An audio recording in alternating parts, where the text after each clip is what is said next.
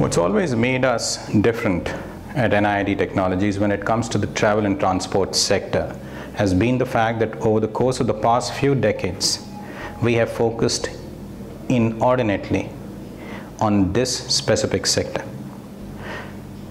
Travel and transport for NIIT Technologies in terms of contribution is fairly atypical compared to some of our peers in that travel and transport is the largest industry vertical that we service globally across, across the world for our key clients.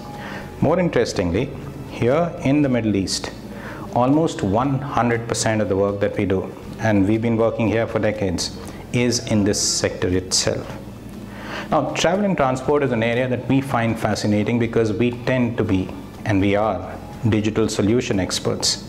And the way we understand digital, the way we actually interpret the impact that digital technologies can make on the world is that digital technologies inherently need to be tools for transforming business.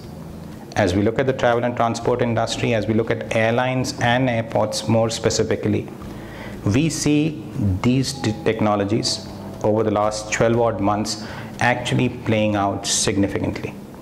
What's more interesting, what's more encouraging, what's more heartening from our point of view is the fact that over the next two to three years, we actually see this trend accelerating.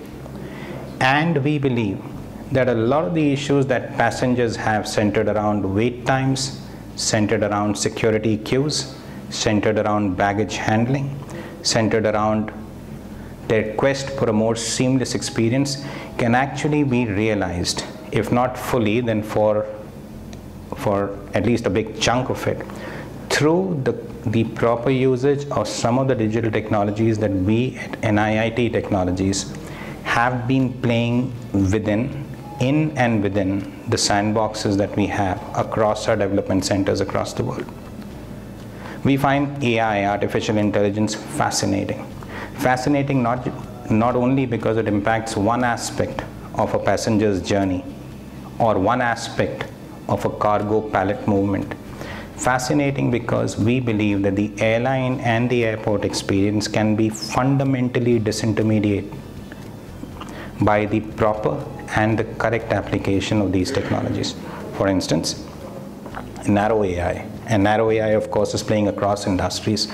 Narrow AI in the form of being surrogates for, supplements for, and, and in some cases being absolute replacements for travel agents for airlines or airports is something that is in the here and now.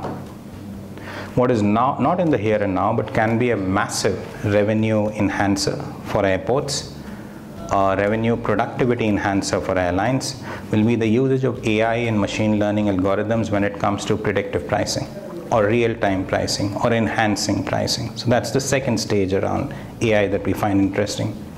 There's a third angle, there's a fourth angle, there's a fifth angle. A third angle illustratively is the work that's being done these days in some of the major airports in China and across Asia in terms of using AI as a tools for optimizing flight operations.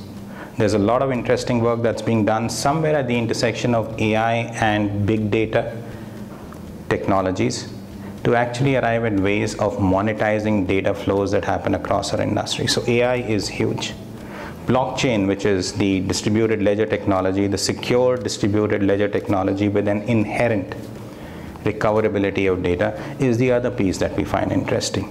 IoT is the third buzzword in the industry where a mix of RFID tags, an IoT bus, or a backbone is something that can help realize some of the mandates that IATA has talked about.